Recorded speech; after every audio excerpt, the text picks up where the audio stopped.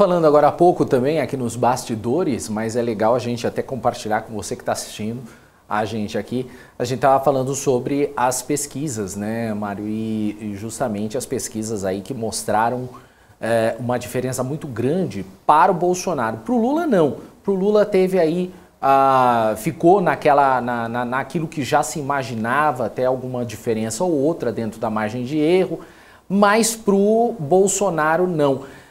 Eu coloquei hoje no BMC Market justamente uma, uma teoria de que muita gente que não gosta é, do Lula ou, e não gosta do PT acabou falando: não, eu vou votar no Bolsonaro para não ter o PT de volta. Essa seria uma teoria que até pode ganhar força aí pela, pela questão das eleições, por causa das pesquisas, porque se as pesquisas estiverem corretas, não estou aqui querendo uh, discutir se elas estão erradas ou, ou certas, não vem o caso. Mas se elas estiverem realmente corretas, Bolsonaro cresceu muito então na, na, na, na eleição ontem, ou seja, muita gente acabou então votando para ele, querendo então que não entre o, o, o governo Lula. Exatamente. Você tem o, o, É uma confusão que muita gente faz, tá? O pessoal diz que o bolsonarismo é muito grande. Eu, eu, acho que metade das pessoas que votaram ontem no Bolsonaro são bolsonaristas. As outras são antipetistas. O antipetismo está muito forte. É, ele não é necessariamente bolsonarista. Eu vou dar o exemplo do Paraná, onde o Sérgio Moro, que é um cara que é absolutamente persona não grata dos bolsonaristas, os, os bolsominions raiz, os bolsominions mais é, que levam mais a sério, odeiam o Moro não, não toleram esse cara e ele foi eleito muito bem no Paraná, contrariando todas as pesquisas. É, você teve ontem essa, essa questão aí do, do, de pessoas que iam votar, acho que no, no Ciro, na Simone, que acabaram votando no, no, no Bolsonaro. Previa-se aí uma, uma, diferença muito grande. O Bolsonaro, acho que com 30. Vamos, a rigor, em média das pesquisas, dizia que ele teria 35% dos votos. Ele mostrou muita força. O Lula mostrou sua força, o Luiz Inácio mostrou sua força.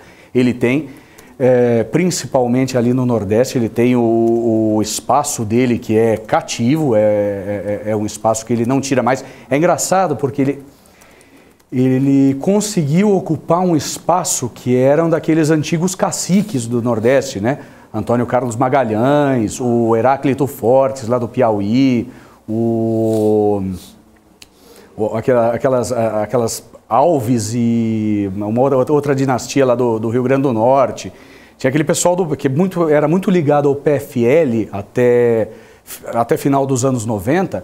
Ele conseguiu eliminar esse pessoal e hoje ele tem votações muito altas no Nordeste. Então ele mostrou que tem muita força política.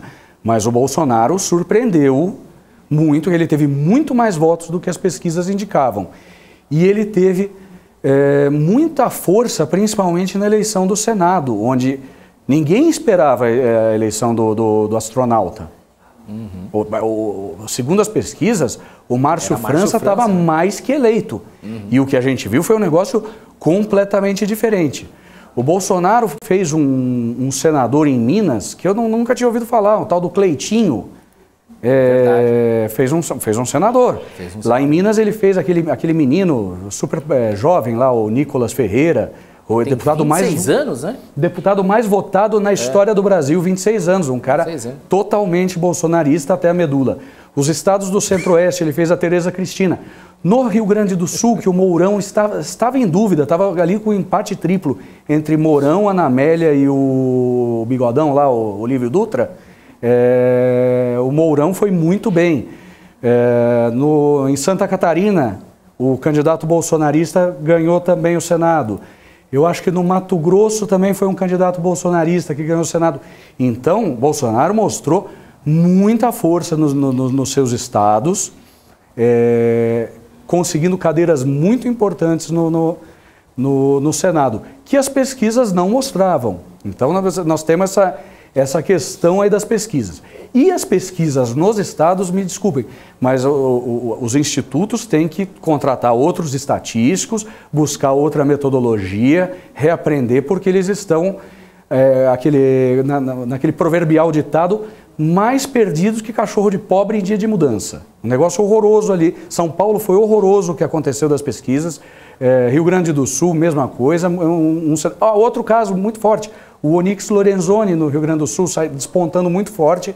O Eduardo Leite quase fica sem, sem lugar no segundo turno, embora eu ache que no segundo turno o Eduardo Leite leva, porque os eleitores do PT não votarão nunca no, no, no Onix. Então vão acabar votando no, no, Eduardo, no Eduardo Leite. O, o...